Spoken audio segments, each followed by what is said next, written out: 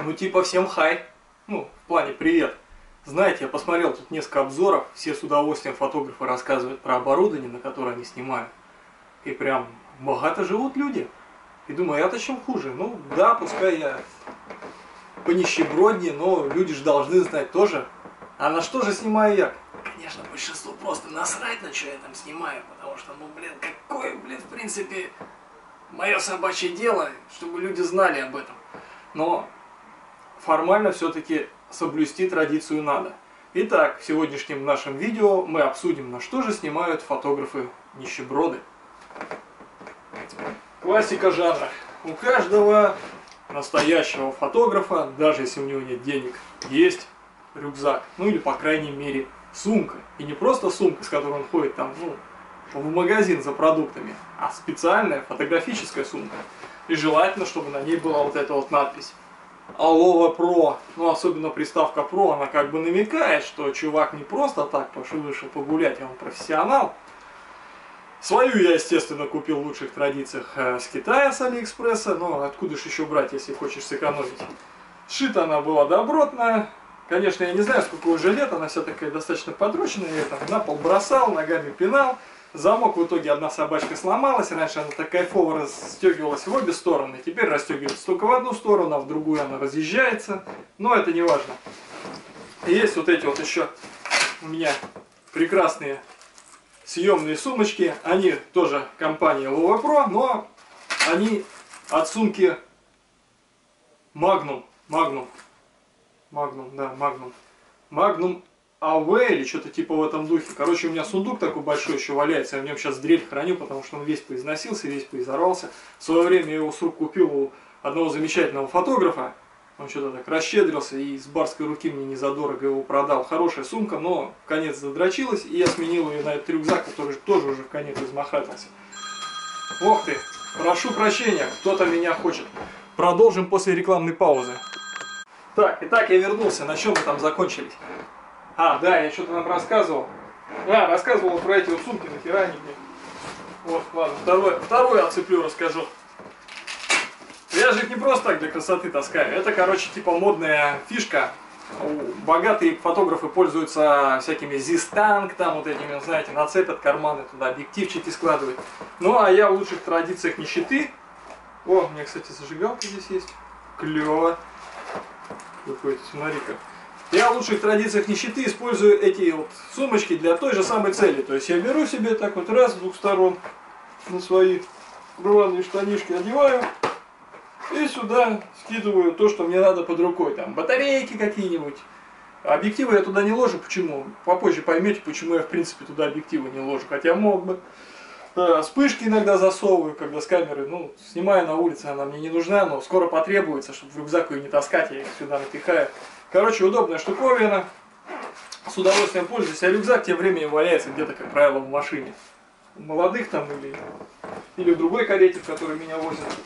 Ну, это если с точки зрения свадебного фотографа. А если просто фотографа, то, наверное, тогда я их с собой не беру, потому что смысл на горбу все равно все таскаю.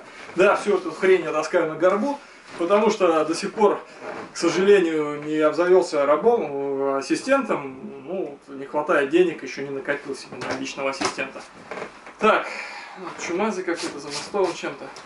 Так, ну тут что уже, конечно, такие тут вот все штуки поломались, подломались, это вот от сибирских морозов минус 30, когда начинаешь педали нажимать, они все лопаются, про. Поэтому болезнь такая пластмассы. Так что те, кто живут в Сибири, вы вот это не защелкивайте, пускай так вот висит. Хотя что я вас учу, сами все знаете. Так, что там у нас, значит, ну начнем, наверное, сразу в потроха не полезем. Или давайте полезем. Единственное, вот эту вот крышку сейчас распакую. Что у меня здесь есть? О, вот такая хрень. Ну это типа, знаете, когда вспышечку сюда закрепляешь, сюда вот мобильный софтбокс 60 на 60 я с собой таскаю. Ну не всегда, кстати, это я так для видео сюда все сложила. На самом деле беру только в тех случаях, когда вот планирую что-нибудь э, постробить софтом, в этом случае беру. Ну, если там кто-то на халяву поассистировать мне соглашается или за небольшие деньги, потому что самому одновременно что-то и держать, и фотать, ну, сами понимаете. Иногда, правда, можно эксплуатировать гостей на свадьбе, ну, если особенно их такой идеей зажечь, что они делают какую-то, блин, прям очень полезную вещь для молодых, то есть, ну, на самом деле объясняю, что там картинка будет симпатичнее, вообще ты всех здорово выручишь, то они прям нормально. Так, вот такая штука у меня есть. Э, ну, я думаю, у всех фотографов есть, кто-то носит, кто-то не носит с собой. Так, что у меня здесь еще? Алло. Так, зарядник для аккумуляторов, для камеры, потому что порой ну, редко были такие случаи, что прям мне не хватало на весь день. Но, блин, все равно, чтобы, знаете, не попасть в такую ситуацию, когда, блядь, все село, и такие молодые, или там просто такие, а типа, а что вы не снимаете? А не, или ходишь там с видом, типа, снимаешь, а, а на самом деле все село. Ну, так вот, поэтому... А, по той же причине есть вот такой Саньо, Саньо экспресс-зарядник от Анилупов вместе с Анилупами я покупал в свое время. Достаточно хороший, кстати, зарядничек.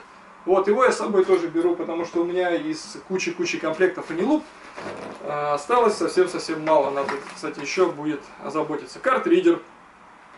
Потому что мои камеры используют тип карточки Compact Flash, который там никуда просто так не засовывается. Но картридер я с собой регулярно не таскаю, иногда беру, иногда не беру. Для видео я его положил в рюкзак, типа похвастаться, смотрите. Вот, хоть и беден, Картридер у меня есть трансцендовский. Кстати, я его как купил еще, когда у меня был как бы не Canon 450D. Вот с тех времен я вот этот картридер эксплуатирую. Вообще все мне в нем нравится. Так, ну что, тут, кстати, сам по себе вот эта вот кенгурящая настройка над рюкзаком очень вместительная. Сюда без проблем залазит какая-то верхняя одежда, особенно вот осенью там или еще что-то там когда осенью, весной, когда непонятно, то жарко, то холодно, то оденешь одежду, то снимешь одежду. Или в ЗАГС заходишь, там, чтобы в общей раздевалке, короче, не париться, там, свою какую-то легкую куртку сюда. Короче, круто. А так, а теперь перейдем, что же у нас, собственно, лежит внутрях. А что же снимают такие нищеброды, как я. Ну, у меня не сказать, чтобы плотно забит не знаю, видно что-то, не видно. Короче, вот. У меня есть аппарат. Вот, такой вот. Полнокадровый, прикиньте, да. Первый пятак. Пятак, вот он. Пятак первый.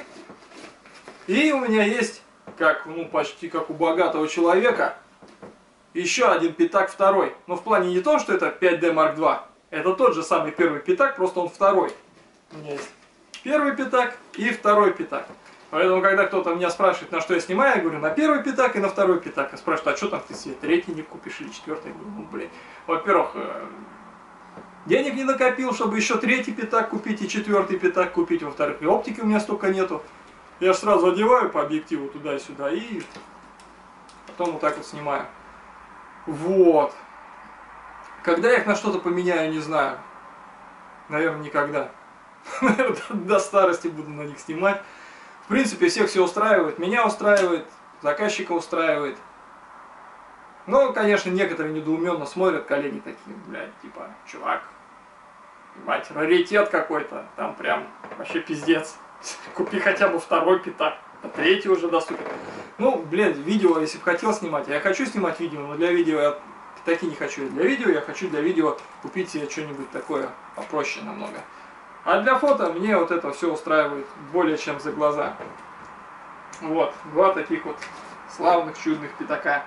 Разумеется, запасные аккумуляторы, все уже давно не оригинальные, это BP511, все китайские, камерах китайские, и эти запасные китайские. В принципе, хватает. Я их тут прокорябал, пронумеровал, ну, чтобы как-то каруселить их по очереди. Что еще есть в рюкзаке? А, да. Вспышки. Вспыхи. Оригинальные, кэноновские. Хоть и нищеброд, но он до Китая еще не опустился. Но 430 EX2. То есть обе. Сначала у меня когда-то была одна, а потом я купил себе еще одну. Одна уже в ремонте побывала, там лампу поменял, там другая вроде как еще так пашет. Ну что, нормальные пыхи, я не знаю. Может быть, по мощности они и уступают 580 и 600, уж тем паче. А так, во всем остальном за глаза. ТТЛ отрабатывает корректно, ручной режим меня устраивает. То есть, подсветка автофокуса работает. Что мне еще от них надо? Да ни хрена больше не надо, пыхают и пыхают. Вот. Две таких вот вспышечки. Менять я их буду. Ну, буду, наверное, когда-нибудь, когда они совсем подохнут. Но, а что тут дохнуть? Тут дохнут только лампы, по большому-то счету. Лампа сдохла, дешевле пойти поменять лампу и дальше, дальше работать. Так, добрались до сладкого. Что у нас здесь в качестве сладкого? Объективы. Ну, я думаю, наверное, узнаете, да? Нет, это не полтинник. Это не полтинник, не 51,4 и там не что-то.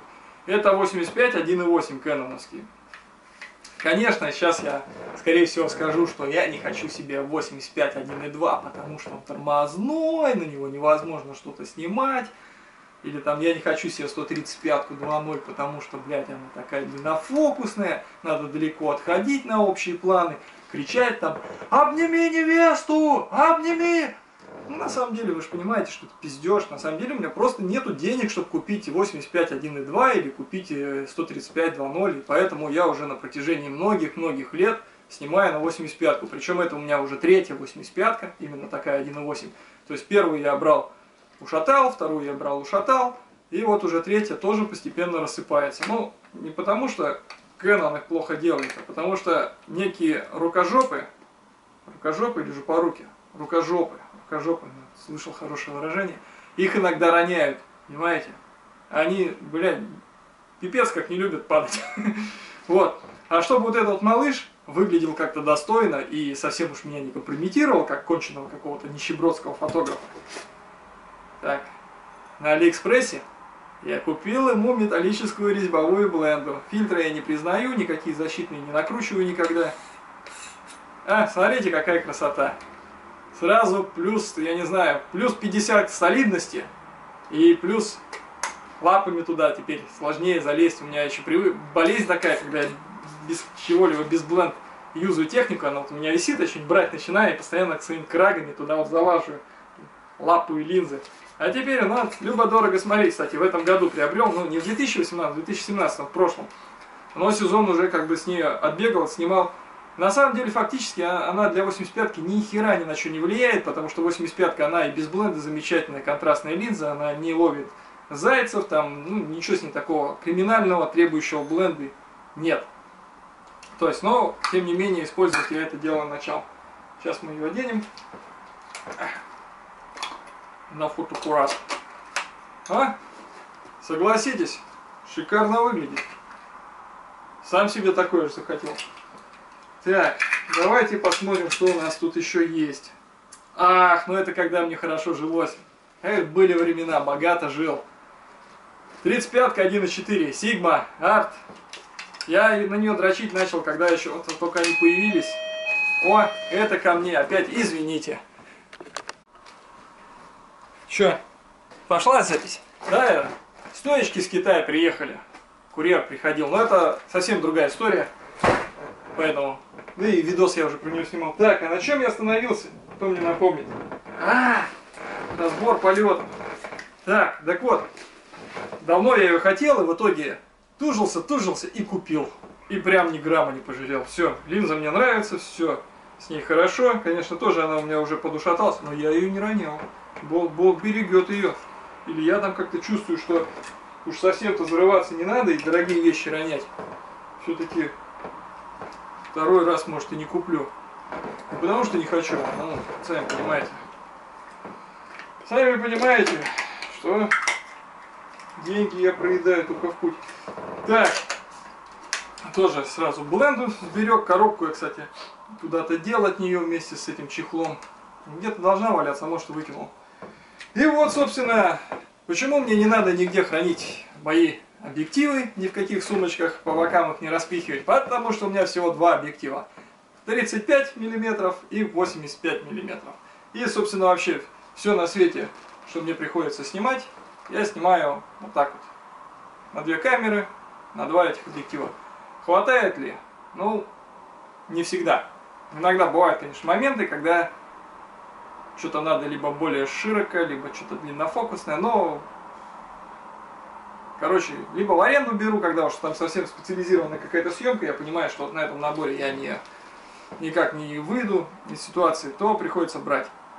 А, а так, в целом, ну это так редко бывает на самом деле, что в большинстве случаев мне вот этого вот хватает. Да, несмотря на то, что я снимаю на две камеры, я не богатый фотограф, был бы побогаче, купил бы себе вот эту кожаную сбрую, бы повешал две камеры там с моим логотипом, с выдавленным, вот эту деревянную бабочку на шею бы одел, а еще какие-нибудь бы аксессуарчики, может кожаный рюкзачок бы модный заказал от этих же, ну там, кожевенных дел мастеров. И ходил бы, как вот БДСМ, вот эти всякие вот эти ремишки на них одеты, которые вот, но нахрена я повешал одну камеру на одно плечо, повешал на другое плечо, и все, и ходишь, снимаешь. Удобно ли? Да, в общем-то, не знаю уже. Именно в таком вот манере я уже, наверное, год третий или четвертый снимаю, когда у меня две камеры появилась постоянно. Раньше когда-то на... Когда единица была, я не парился, на одну камеру снимал. А, вот. Что там кто-то булькает? Ну ладно. В общем, вот такое вот дело. 35-ка очень удобная, я часто снимаю ею не только общие планы, но и более крупные какие-то такие, даже порой а, именно так вот в горизонтальном, при горизонтальном кадрировании даже снимаю какие-то плечевые такие кадрики, то есть они такие получаются жанровые, такие вот, что-то такое киношное, особенно на открытой диафрагме, когда она так винитирует прилично, хорошо моет, в общем, ништяк. Ну, а на это я снимаю все, что не снимаю на 35, я снимаю, соответственно, на 85. Это портреты, портреты какие-то, какие-то, может быть, репортажные моменты, и в том числе и на банкетах, э, на каких-то событиях. То есть там, где хочется что-то покрупнее выдернуть, ну, конечно, приходится много бегать. Ну, если бы у меня был 70-200, 2,8, я там стоял бы спокойно на месте, или, там, шаг влево, шаг вправо. А так приходится больше бегать, но из этого получается больше плюсов. Знаете почему? Потому что получается всегда разные ракурсы, разные точки съемки. То есть, когда ты стоишь на месте, у тебя все кадры одноплановые, ну не одноплановые, разноплановые, но видно, что ты вот не перемещался, что все вот с одного угла или там это. Когда у тебя более короткофокусная оптика, ну 85-ка на полном кадре, ну типа кого кроп, как полтинник, 50 мм, то есть понимаете, и не широко, и не узко, то есть как ты хер поймешь как. И все равно с нее приходится бегать. Хочешь покрупнее план взять, тык-тык-тык-тык, подбежал, снял. Хочешь более общий, тык-тык-тык, отбежал. Э, кто-то что-то повернулся, вот можно оббежать зато, ну, более оперативно, чем, например, со 135-кой можно кого-то оббежать и снять с другой стороны, потому что со 135-кой бегать придется значительно по большему радиусу, кто понимает о чем. Здесь ты более близко стоишь, но и бегать не меньше. То есть ты более оперативно можешь менять углы какие-то обзора, углы съемки, э, точки съемки. Так, что у меня еще есть? Но у приличных-то фотографов есть еще макрообъектив. Да, ну, предметочку, но я сам люблю предметку иногда пощелкивать. Но у неприличных, у тех, кто победнее, есть макрокольца, которые поддерживают автофокус, но это не важно, автофокус на макро можно и руками крутить. Куда как важнее, что они поддерживают работу диафрагмы, есть вот, вот это вот уже более важный момент. Вот такой вот недорогой комплектик для нищебродов, состоящий из трех колец. Все три кольца я редко использую, как правило, использую вот это вот среднее кольцо, когда колечки какие-то фотать. Вот он прям вообще, ну ура. Иногда вообще даже, даже еще того, ну, то есть так вот. По одному кольцу, либо, либо, либо. Выбираю там в зависимости от масштаба. Вот. Такая штука полностью меня устраивает, работает, все с ней прекрасно. Чернение, конечно, внутри у нее не особо, то есть все пластик, фантастик, но особо не бликует. Как бы. Так. Что еще у меня есть? Ну, ну, ну конечно же, есть а, аккумуляторы. Кто-то пользуется батарейками, например, там, я не знаю, с этого, с Икея, да, там понакупят тонну этих батареек алкалайновых и просто их там отсняли, вытряхнули, выбросили. А я что-то так повелось, там, где я жил до этого, там Икеи по мини не было.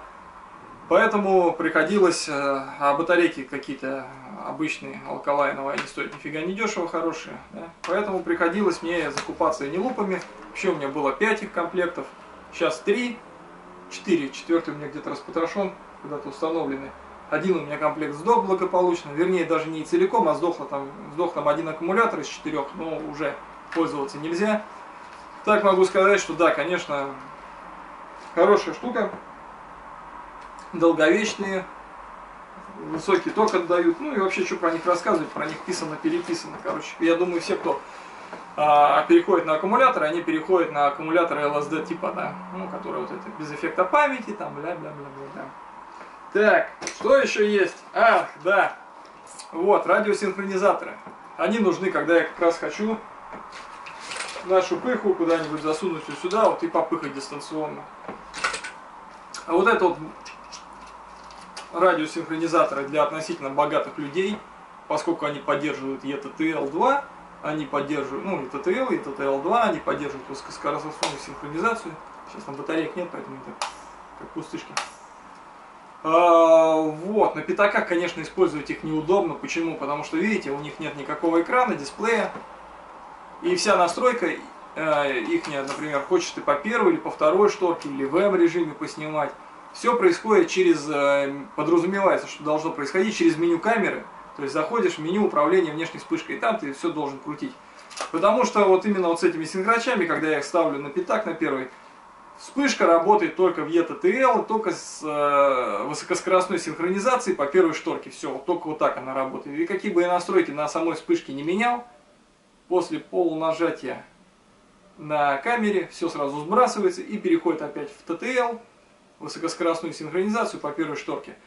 Слава богу, из камеры, из камеры я могу делать хотя бы коррекцию вспышки, то есть плюс-минус две ступени. Вот это и спасает. Вот. Пользуюсь периодически, но уж если быть до конца честными, как настоящий нищебродный фотограф, пользоваться я должен и пользуюсь зачастую, особенно если погода пасмурная, если мне не нужна высокоскоростная синхронизация, если я хочу полный контроль над вспышкой иметь в режиме M, я пользуюсь вот такими вот простецкими триггерами, которые никакого TTL не понимают, они просто поджигают вспышку где-то на 1.125 и 1.160 синхронизируются без проблем в зависимости от заряда батареек. То есть одну двухсотую не выдают все-таки, там уже как-то что-то не то происходит. Хотя камера может синхронизироваться на одной двухсотой, но что-то дело именно в синхрачах, видимо. Вот они простенькие, работают на частоте 2,4 ГГц, прошибают там где-то до 100 метров. Ну, я проверял, далеко уходил, пыхает, нормально. То есть вот это мои любимчики, вот это я люблю. И если домашнюю студию какую-то мутишь, там софтом что-нибудь поставил на стоечку, вот для дома там на обычный X-синхро работать. Надежная, железобетонно. Вот, еще надо будет, кстати, докупить. Че, рюкзачок у меня Почти что я опустил. А, ну да, разумеется, куча карт памяти, самых разных, там, восьмерки, шестнашки, разных скоростей. То есть все это... Я заметил, короче, по себе, чем больше я беру на съемку карт памяти, тем больше я нащелкиваю фотографии. Надо себя уже как-то ограничивать. Вот реально, когда их было меньше, на две штуки, я и снимал меньше на тысячу кадров. Когда их стало больше, я и снимать стал больше. То есть Сколько карточек не бери, я все их забиваю. Вот такая вот болезнь, это, наверное, какая-то... Это, наверное, лечить надо. Что еще носят фотографы? Носовой платок.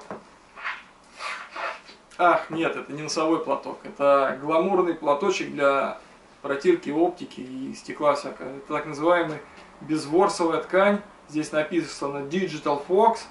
Покупал я ее лет 10 назад. Стираю с детским мылом сушу, и она продолжает работать. Очень рекомендую. Клевая штука. Наверняка в ДНС до сих пор продаются. А, да, с обратной стороны у рюкзака есть здесь дождевик, вытаскивается. Иногда выручает, потому что погода порой такая бывает, что без этого промокает все. С этой стороны, что у меня есть с этой стороны? О! Знаете, что это такое? Это типа такая вот хрень, которая одевается на эту хрень, типа, о, нахрена она нужна, не знаю. Ни разу не пользовался и с собой не носил. Это я так просто поглумиться над вами засунул в рюкзак. Потому что все настоящие трушные фотографы, деды, так сказать, еще так делали, поступают вот так. Они берут любую хрень, которая попалась к ним в руки, одевают при помощи резинки от трусов вот эту хрень на вспышку и фотают. О! Ну и этим я не пользуюсь. Не знаю, мне как-то хватает бить от потолка, от стен, поворачивать э, рефлектор, то есть, и, не знаю, как-то не, не сталкивался с ситуациями, когда у меня были такие уж сильные, а, когда я в потолок светил, у меня были сильные панды такие, прям, ну, то есть тени от э, век, от верхних, то есть, чтобы людей может быть, конечно, надо, стоит попробовать, я сразу вижу разницу, что пишите там в комментариях. Но я как-то пробовал, мне показалось, что вот с этими вот лопухами слишком плоский рисунок сразу становится, что все-таки рефлекс очень сильно идет от них и слишком плоская картинка такой, слишком фронтальный свет забивает. Ну, может мне так кажется только. Что у меня здесь есть еще? О! Лайт диск. Отражатель. С одной стороны серебряный, который дает э, более такой жесткий рефлекс и на более дальнее расстояние, особенно в солнечный день, как наведешь на его на кого-нибудь, они все морщатся, как бы на солнце в глаза светит. И с другой стороны просто белый. Он дает более мягкий рефлекс, его надо, разумеется, ближе подносить э, к нашей модели, чтобы эффект какой-то почувствовался, но он не слепит. И тот, и другой не искажает баланс белого, что серебристый, что белый. И, в принципе, все. Просто есть еще золотистые поверхности. Я никогда не понимал, зачем они. Может быть, конечно, фишка какая-то появляется особенная. Но Потом, если золотистым рефлектором снимешь и баланс белого по лицу будешь выводить, а, весь задний план вываливается в холодное. Ну, с другой стороны, получается такое, типа, может, комплементарная схема такая, типа, желтые лица, ну, или там не желтые, теплые лица, холодный задний план, типа, синий-желтый, ну, не знаю, может быть. Конечно, вот эта вот шляпа, 80 сантиметров это мало, но Сорян, в этот рюкзак у меня больше ничего не влазит. Если сюда влазило что-то побольше, я бы, разумеется, брал бы с собой вот такой бы рефлектор. И, в принципе, я его, может быть, и буду брать, когда какая-то съемка будет, где действительно без него не обойтись. Вот это уже побольше, это 90 на 120. Не сказать, чтобы он ростовой, все равно коротковатый. Он уже 4 в одном, нет, 5 в одном. То есть у него 4 отражающих поверхности, и что самое немаловажное, он еще может работать на просвет. То есть э, на просвет это можно и прикрывать кого-то. И солнышко будет через него светить и давать очень мягкий свет с мягкими тенями. Еще так прикольно делать, если где-то ребят фотоешь э, под деревом, да, каким-то, и от на них на лица падает вот эта вот пятнистость такая, да, ветки, вот это вот все отражение от листьев, то есть здесь световое пятно, здесь тень, они такие стоят, все как пантеры, как, нет, пантеры, пантеры черные целиком, как эти, как, да, ягуары, наверное, да?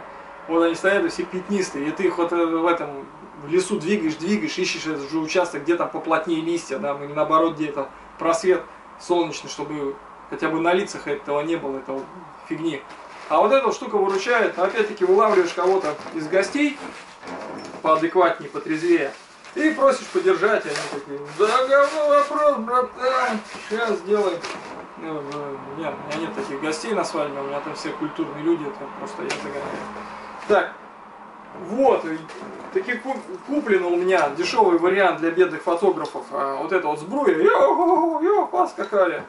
Вот она, вот так вот она одевается. Покатаю меня большая черепаха. Сюда вот прикручиваются камеры. Ну, не, в принципе, наверное, удобно, но как-то, я не знаю. Блять, таскать специально какой-то ремень для камер, когда у них уже есть ремень, одел на плечи, доходи, ну, не знаю, может быть. Ой, блядь, голова застряла, мозгов много стало. А, вот. Что еще рассказать? А, ну да, да, да, да, как же я совсем забыл-то. Ведь у каждого настоящего фотографа особенно страбуниста, страбуниста, есть стойка, которую он иногда, пыхтя и матерясь, берет с собой на съемки. Чтобы там поставить свой раскладной софтбокс, под софтбокс поставить красивую модель, но это на тот случай, если опять-таки раба нет ассистента, а вот, а как-то выкручиваться надо, поставить модель красиво и красиво, журнальненько на улице, днем с огнем ее поснимать. Вот. У меня стойка тяжелая, массивная, 2,60 ростом, трубы обалденно толстые, э, ноги раскидываются чуть ли не на метр с чем-то. То есть они там вообще, разлет у них такой. А, достаточно хорошая штука, пока у меня она еще не падала. Ну, я, конечно, там меры-то принимаю, там камни какие-нибудь поднавалить или еще что-то. Но хорошая, хорошая, надежная штуковина. Вот. Но минус, обратный минус, она очень тяжелая. Прям иногда идешь и думаешь, бля, да нахрена, лучше бы я легкую стойку взял, безветренно же сегодня. Но с другой стороны, как сказал там этот Борис Бритва в фильме «Спиздили», вес это хорошо. А, нет. Я люблю надежность или что-то в этом духе, а вес это хорошо, вес это надежность. А для меня надежность прежде всего. В любом случае, если не сработает, можно всегда ебать по голове. Вот, из этих же соображений надежности я купил себе вот этот штатив. Отдал за него много-много бабосов. Это вот, можно сказать, вторая дорогая у меня вещь после Sigma 35 Art, за которую мне не стыдно и вот а, с которой я мог бы играть в высшей лиге фотографов, таких дорогих, богатых фотографов. То есть это вот это штатив вот этот манфротовский. То есть, если я захочу где-нибудь прийти, если бы были какие-то вечеринки костюмированные фотографов, где бы они обязательно ходили бы со своим оборудованием, то есть вот этих кожаных ремешках, здесь марки 4 или там а, а, Nikon D850 висят. А я бы тогда приходил, ну что, ну это же говно с собой брать застремаю, я бы приходил и на одном плече нес бы вот этот штатив, а в другой руке, как державу, э, нес бы 35-ку ад. И тогда бы они такие косились, такие, что-то у тебя маскарадный костюмчик какой-то бедненький, но все-таки хорош, из хороших компонентов сшитый. Вот, хороший штатив, он прям а, неубиваемый, надежный, прочный, на года, очень функциональный, устойчивый. А, про него можно много рассказывать, и в принципе у меня есть какой-то такой дико пафосный обзор – котором я там, который я назвал, как правильно выбрать штатив или что-то в этом духе, вот я там его сравниваю с каким-то пластмассовым говном, на котором сейчас установлена вот эта камера, которая меня снимает, она как раз на пластмасске на какой-то установлена. Вот, короче, без ума я от него и прям не знаю, рад радешенек. Ну и все, больше у меня, пожалуй, пожалуй, мне ничего больше и нет. Вот. А, да, я видел все эти обзоры, которые другие коллеги снимали, они там вставляли свои фотки. Ну, то есть они рассказывают, например, вот я там вот на этот объектив я там снимаю там, 40% там, фотографий там свадебных, да, и такие чик-чик-чик фотки вставляю. А вот на этот я снимаю это-то и фотки чик-чик. Я так делать не буду. Ну, кому интересно, там, я не знаю. А кому будет интересно, по-моему, всем пофигу, наверное, что я там, что я там, как снимаю. Меня, в принципе, это я, я никто и звать меня никак, поэтому, ну, если вдруг кто-то остро заинтересуется, типа, чувак, ну а что ты там про оборудование-то свое рассказал, а фоток не показал, ну, пишите, я не знаю, там, в личку куда-нибудь там как-то.